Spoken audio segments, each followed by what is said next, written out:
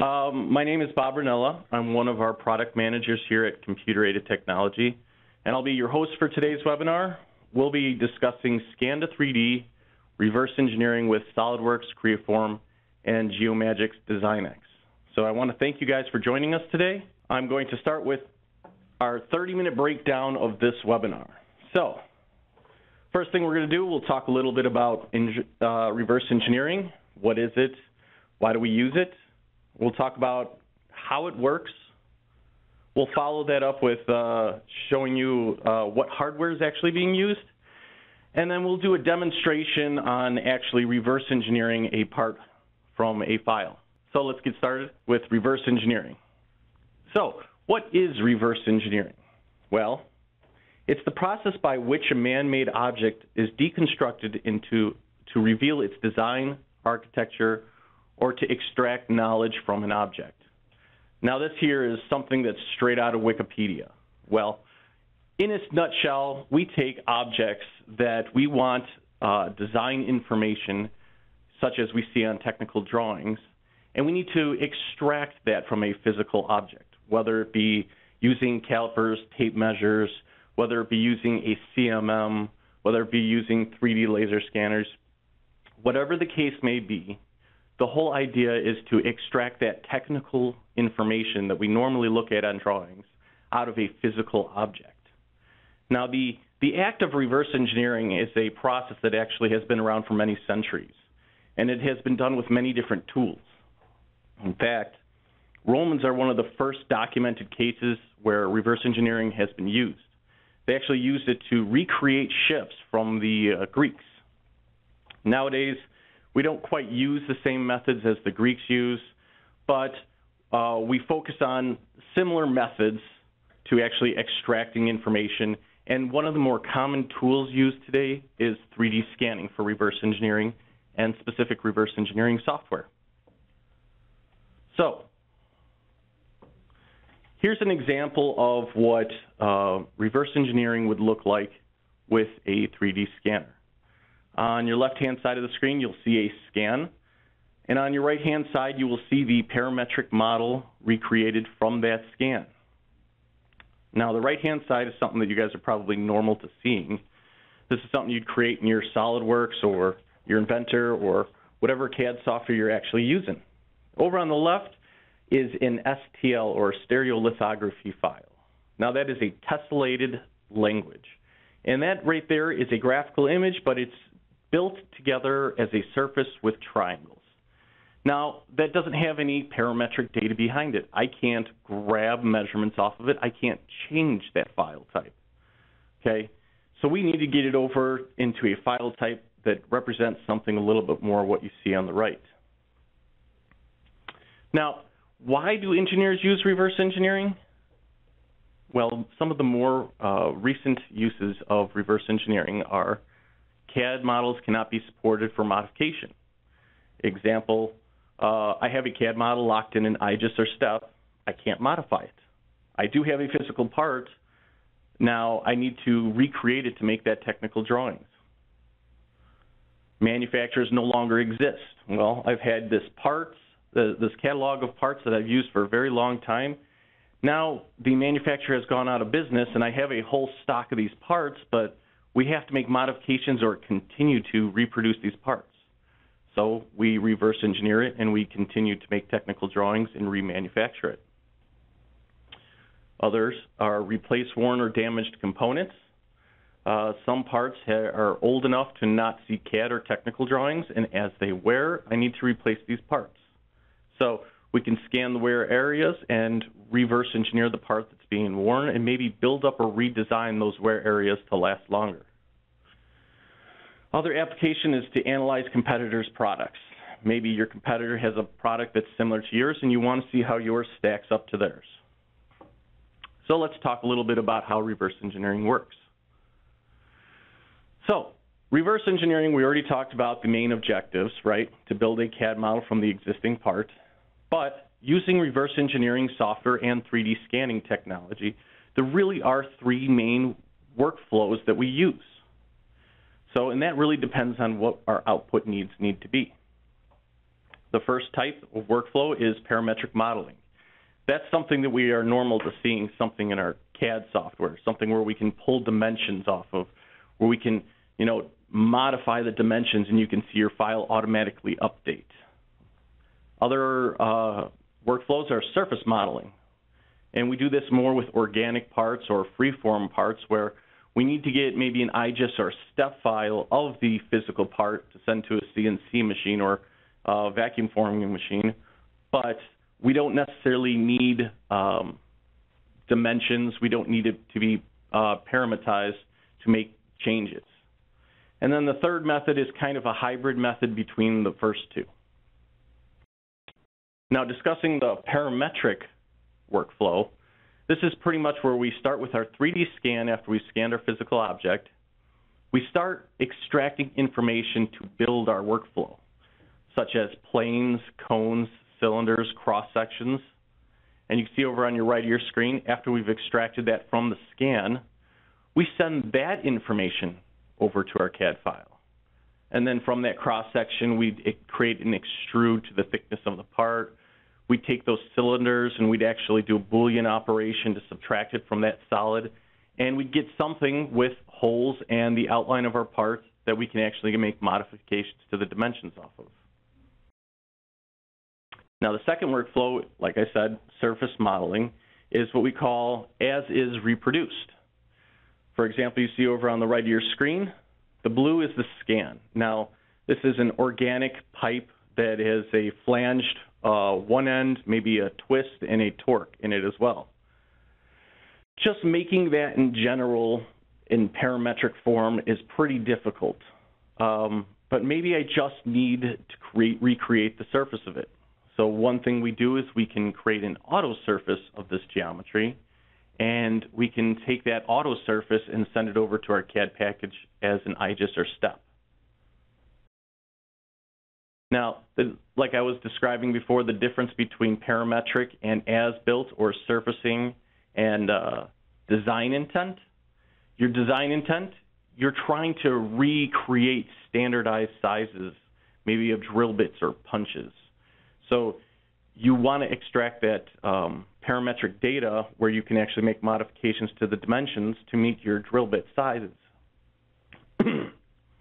Where the as-built or as reproduced, you're just trying to get an overall design feel of what your part looks like. And the diameters could vary pretty much in size depending on how worn the part is.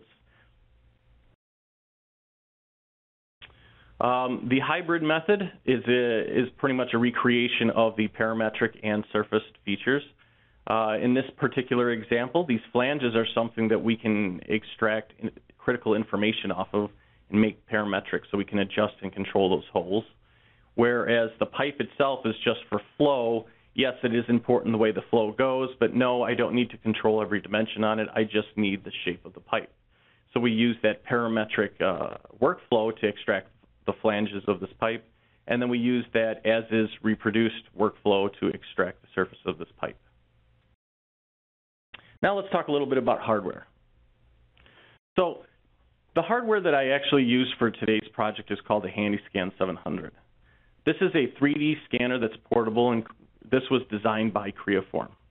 It has a resolution of 2 thousandths of an inch and an accuracy of 12 ten thousandths of an inch. So it's very accurate, and it has been used for metrology applications as well. The measurement rate of this particular device is 480,000 measurements per second. That means it's creating points across the surface at 480,000 points per second. So we get a great representation of our physical part in our digital world. Again, uh, going back to that metrology application, this is NIST certified. So how our 3D scanning workflow uh, unfolds is the first thing we do in our workflow is um, we acquire the surface of our parts. We prep it by placing positioning targets or registration targets on it with the HandyScan 700, and then we continue scanning it up with our scanner itself. That data acquisition is raw data. It sends it over to our computer, but it gets a digital file format of our physical part. Next in the software, we tell it to generate a mesh, and this is uh, a two-part process. It creates that STL, but it also optimizes that mesh so our surfaces represent the least amount of error or the smoothest possible crisp surfaces that we have that represent our physical part. Then we output that mesh uh, STL into a reverse engineering software, uh, software and we begin our reverse engineering process. And again, the project I'm going to demonstrate with for you guys today, we're going to go ahead and reverse engineer this water bottle you see over on the left. We're going to start by importing this STL. We're going to create our 2D sketches off of the actual scan. Then we're going to recreate our 3D solid parametric body, bottle. And then we're going to go ahead and transfer all of that over to SOLIDWORKS so we can make design changes. So let's go ahead and open up our software. So now the software you see on screen, this interface here, is called Geomagic Design X. And this is one of the types of reverse engineering software that exist out there. So the first thing we're going to do per my workflow is we're going to go ahead and we're going to import our scan. I've already recreated or scanned this up with my HandyScan 700 for us today because I really wanted to demonstrate the workflow and usability of a reverse engineering software. So what you can see here on your screen is the scan of the bottle. This is an STL that has been optimized, but there's a few things we need to do to it before we start reverse engineering. One of these things in DesignX is we need to do this tool called auto segmenting. And what this does is it looks at our entire scan and breaks it up into similar curvature based off of parametric entities, such as cylinders, cones, spheres, and surfaces. And depending on how tight you set the tolerance, you can even pull off fillets and chamfers. So we'll give it a second to go ahead and update. And here we go, what you see on screen. It's colorized every single similar curvature. You can see my fillets around the finger grips. Each surface has its own color to represent the finger grips. If we scroll over to the top, you can see a flat surface color and something for this conical top as well, a color.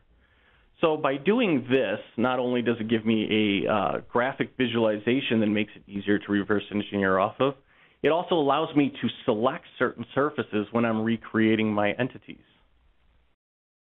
So let's start with the overall sketch of our body. Okay, so one thing I'm going to do is I'm going to use my right plane and I'm going to ask the software to create a cross-section cut. So what it did is it pretty much sliced it in half. And that gives me the overall sketch of the actual scan. Now let's go ahead and hide that mesh so we can see our drawing a little bit better. Here, we have an outline of our scan. And it looks pretty smooth as far as the lines go, but it's not parametric quite yet. I don't have any dimensions or constraints it pretty much is just a straight cross section. This is where we start doing our parametric uh, design. So per my workflow, what I want to do is I'm thinking ahead and I want to do a revolve of this body. So I'm going to create an axis to revolve around. We'll go ahead and say OK. We'll make sure this is a construction line. And then I'm going to only take half of this actual part and I'm going to revolve this. One good benefit of Geomagic Design X is it has this auto sketch function up here at the top.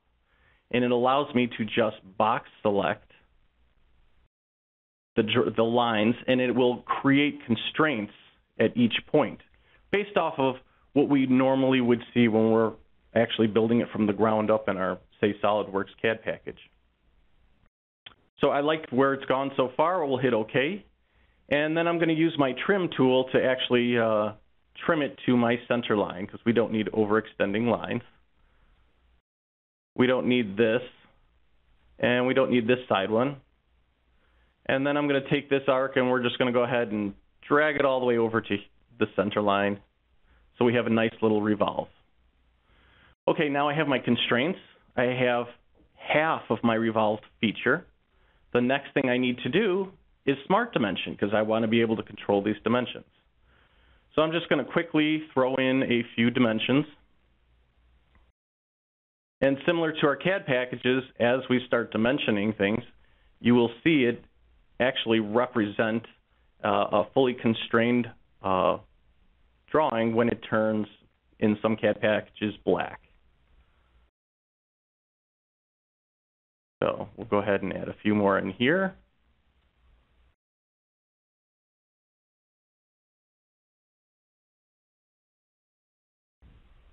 And I think a few more should do it.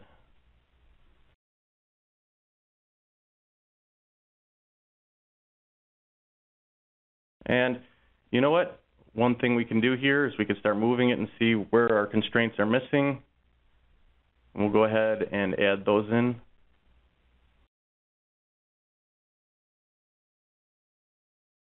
I think I got this one. And we'll add in a couple more. over constraint. And we'll go from here. So we have half of our drawing. We've got it constrained. We've got our dimensions in it. Let's go over to our model tab and let's go ahead and do our revolve. Just grab this sketch and you can see a visualization of the revolve. And already we've got the outline of the body. Now we can pop back up our sketch at any time and see how well that's lining up graphically. The next thing I want to do, we'll hide our solid body and bring back up our sketch, is I want to create this cut on the top. So we'll go ahead and change our view to that. Zoom in here for you guys to see. We'll go back over to our sketch tab and I will pick on this flat surface of my mesh.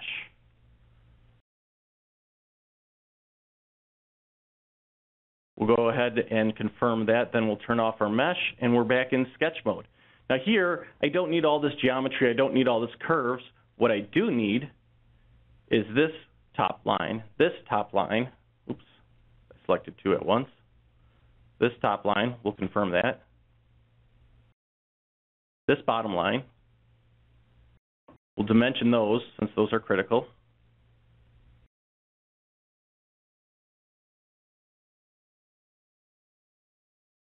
And then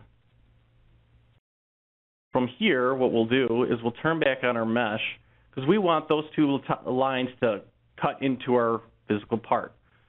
But from here, we'll just make it into a box. And we'll drag it out past our part. First, let me make a, a few more constraints. And we'll go ahead and drag it past our part. So make sure we cut all the way through the parts we need. So that's good enough. I've got the critical features that I need. If I wanted to, I can overall dimension this. Then we'll go over to our model tab. Turn back on that solid body because that's what we're actually cutting through here. And we'll do an extrude cut. And you'll see it'll cut straight through the top. So now we'll turn back on our mesh. You can see we've got a cut and the body that represents the mesh. We'll go back over to our top. And we want the uh, uh, circular feature right here on the top, our cylindrical feature, where our straw would actually go. So we'll repeat our process. We'll create a sketch back on this surface. And the only thing we're going to extract here are these two circles. We'll use our auto sketch, have it grab those two circles. Our smart dimension, we'll dimension those two items. And then we'll make sure we dimension these things to our center. And we'll make these concentric circles. So we're fully constrained. And then the next thing we'll do on our solid, oh, we'll use our mesh actually we'll take these two circles and we'll extrude it up to the top. And what I can do here in my options, in my methods, is I can actually extrude up to a region. And I could just pick on the top region of my scan, and it will extrude it only up to that region. If we turn off our mesh and back on our solid model, you can see we've pretty much got the entire part. We've got that straw feature, the flat top, the body, What's left in this reverse engineer is the actual finger grips, and you can see the solid model sticking through the mesh. So now that, that, that requires some surfacing, you know, and it's kind of uh, difficult to extract or manually measure. So with some reverse engineering softwares, we have options as far as tools for extracting this. And that's exactly what we're going to do. We're going to actually use our surface, uh, primitive surfaces, we're going to ask it to automatically extract the uh, surface. So all I need to do is select on my mesh the areas I wanted to recreate using surfacing. And we'll hit next, and you can see it's created a little patch that represents the curvature of these finger grips on the surface. Now these are IGES files or step files that we can actually export over to our SOLIDWORKS file. But instead of just exporting it over, what I'm going to do is I'm actually going to use that in the next operation. We're going to use this and cut it out of our solid. So I'm going to go ahead and cut it. I'm going to use this surface as the tool, the body as my target body, and we have to pick what our remaining body is going to be. And there you go. You can see it cut it directly out of the solid. Now we're going to do that a few more times. Now this operation, there's things, tips and tricks that you do need to understand. I could select all four surfaces and have it automatically cut it out of the solid body. But when I transfer this over to SOLIDWORKS, SOLIDWORKS only operates one cut at a time, or one Boolean operation at a time, which if I threw this over in SOLIDWORKS, it would throw back an error saying I can't do this operation. So that's where, you know, kind of knowing a little bit of tips and tricks and playing with the software comes in handy.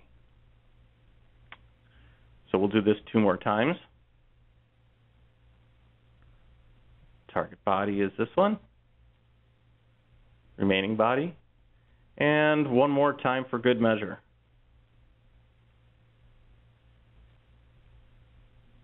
Remaining body. There we go. Turn off our surfaces and we pretty much have our part. There's one more adding, adding additive finishing method that I would like to demonstrate for you guys before we send this over to SOLIDWORKS. I'm going to turn on my mesh and turn off my solid. We have these fillets around these finger grips. And this is something that's very hard to measure, very hard to extract. One thing I do like about this software is that I can go turn on my solid, select my fillet tool here at the top. Make sure to select all these finger grips.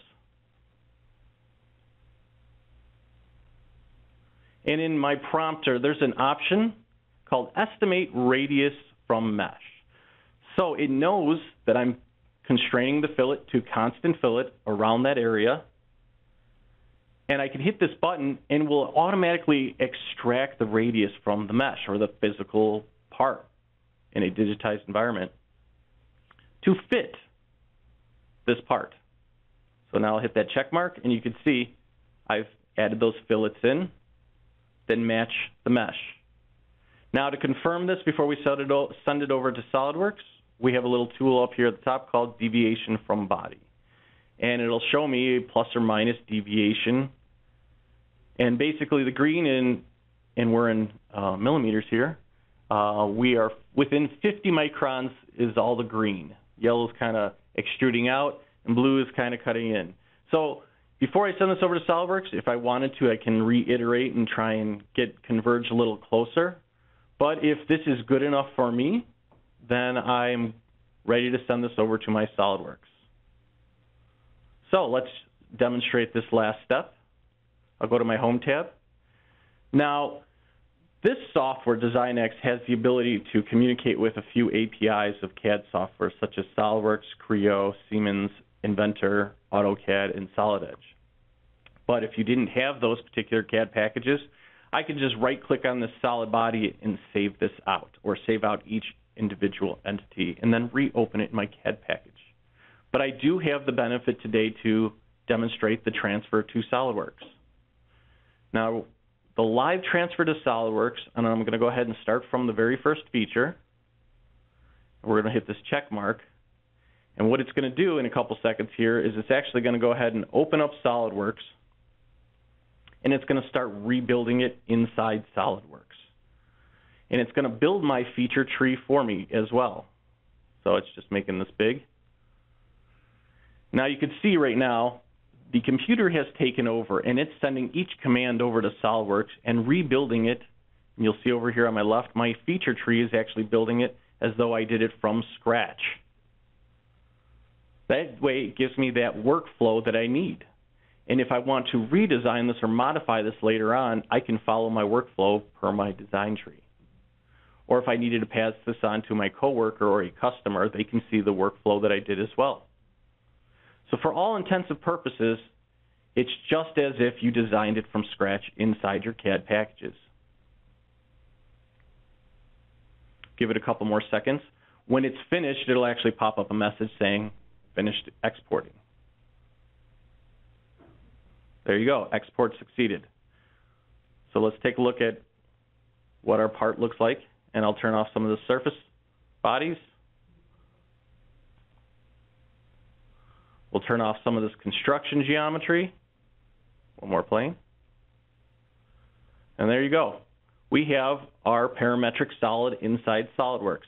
And we have all our drawings and dimensions and constraints associated with it that we can make our adjustments if needed. Well, that's all I have time for you guys today. Well, looks like we're right within our 30 minute window.